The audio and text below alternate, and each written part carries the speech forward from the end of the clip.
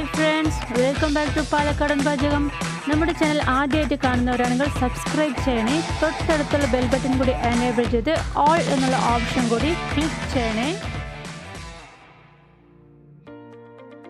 ഇന്നത്തെ നമ്മുടെ റെസിപ്പി നല്ല ടേസ്റ്റി ആയിട്ടുള്ള മട്ടൻ കുറുമയാണ്. ഇത് പാലക്കാട് നെയ്ച്ചോറിന്റെ കൂടെ ബെസ്റ്റ് കോമ്പിനേഷനാണ് അപ്പോൾ നെയ്ച്ചോറിന്റെ റെസിപ്പിയുടെ ലിങ്ക് ഞാൻ ഡിസ്ക്രിപ്ഷൻ ബോക്സിൽ ഇടുന്നുണ്ട്. ഇനി ഇതിന് വേണ്ടിയുള്ള ഇൻഗ്രീഡിയൻസ് എന്തൊക്കെയാണെന്ന് നോക്കാം. ഞാനിവിടെ മുക്കാൽ കിലോനോളം മട്ടൻ എടുത്തിട്ടുണ്ട്. കാൽ കിലോനോളം ഉരുളക്കിഴങ്ങും. പിന്നെ അടുത്തതായി വേണ്ടത് മൂന്ന് സവാള നീളത്തിൽ അരിഞ്ഞു വെച്ചതാണിത്. അടുത്തതായി വേണ്ടത് നല്ല പഴുത്ത തക്കാളി വലുത് മൂന്നെണ്ണം അരിഞ്ഞു വെച്ചിട്ടുണ്ട്. ഒരു ആറ് പച്ചമുളകും ഒരു ചെറുനാരങ്ങയും ഒരു കൈപ്പിടി അളവിൽ മല്ലിയിലയും കറിവേപ്പിലയും എടുത്തു വെച്ചിട്ടുണ്ട്. ഇഞ്ചിയും വെളുത്തുള്ളിയും അതുപോലെ തന്നെ ചെറിയുള്ളിയും ചതച്ച് വെച്ചതാണിത്.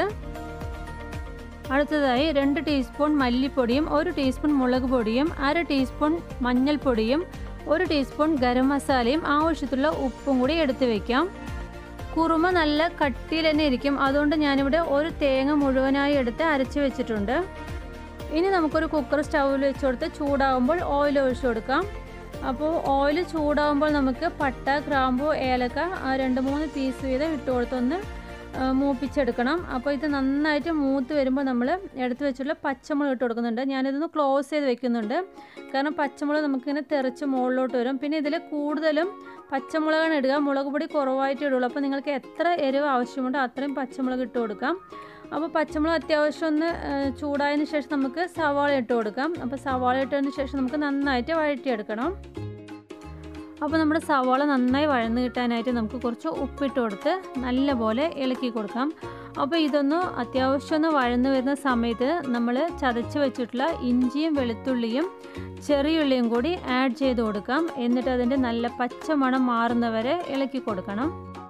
പിന്നെ കുറുമിയൊക്കെ തയ്യാറാക്കുമ്പോൾ നമ്മൾ ചെറിയുള്ളി ചേർത്ത് കൊടുക്കുമ്പോൾ അതിനൊരു പ്രത്യേക ടേസ്റ്റാണ് കേട്ടോ.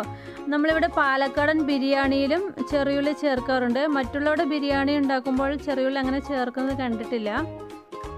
അപ്പോൾ അത്യാവശ്യം ഇത് വഴന്നിട്ടുണ്ട്. ഇനി നമുക്ക് തക്കാളി കൂടെ ഇട്ട് കൊടുക്കാം. അപ്പോൾ തക്കാളി ഇട്ട് കൊടുത്തതിന് ശേഷം ഈ തക്കാളിയൊക്കെ നന്നായിട്ടൊന്ന് ഉടഞ്ഞു കിട്ടുന്ന പോലെ നമുക്ക് വഴറ്റിയെടുക്കണം. ഞാൻ കൂടെ തന്നെ കുറച്ച് മല്ലിയിലയും കറിവേപ്പിലയും കൂടെ ആഡ് ചെയ്ത് കൊടുക്കുന്നുണ്ട്. അപ്പോൾ മാക്സിമം നമ്മൾ പഴുത്ത തക്കാളി എടുക്കാൻ നോക്കുക. അപ്പോൾ നമ്മുടെ തക്കാളിയൊക്കെ നല്ലപോലെ വഴന്നു വന്നിട്ടുണ്ട്. ഇനി നമുക്കിതിലേക്ക് പൊടികൾ ആഡ് ചെയ്ത് കൊടുക്കാം. അപ്പോൾ നമ്മൾ എടുത്തു വെച്ചിട്ടുള്ള മഞ്ഞൾപ്പൊടിയും മുളക് പൊടിയും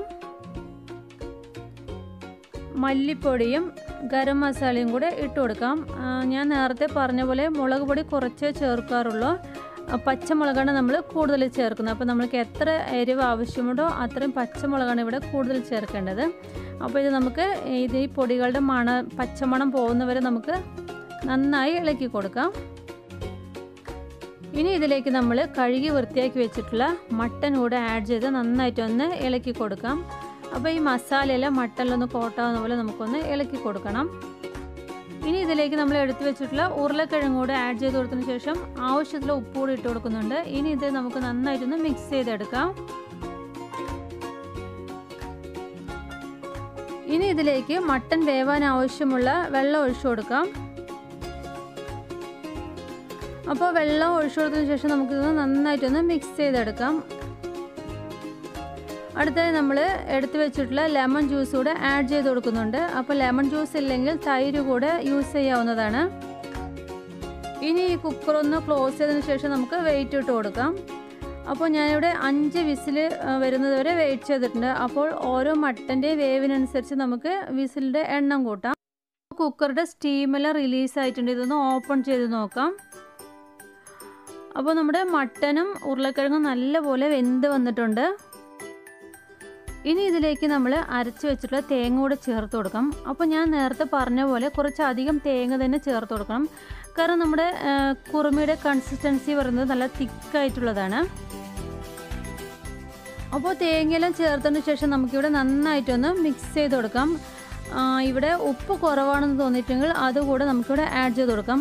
അപ്പോൾ ഇതൊന്ന് നമുക്ക് തിളപ്പിച്ചെടുക്കണം. അപ്പോൾ അത്യാവശ്യം തിള വരുന്ന സമയത്ത് ഞാൻ ഒരു ടീസ്പൂൺ നെയ്യ് കൂടെ ആഡ് ചെയ്ത് കൊടുക്കുന്നുണ്ട്. കുറച്ച് മല്ലിയിലയും കറിവേപ്പിലയും കൂടെ ഇട്ട് കൊടുത്തതിന് ശേഷം നമുക്കിന്ന് ക്ലോസ് ചെയ്ത് ഒരു സിമ്മിൽ കുറച്ച് നേരം തിളപ്പിച്ചെടുക്കാം.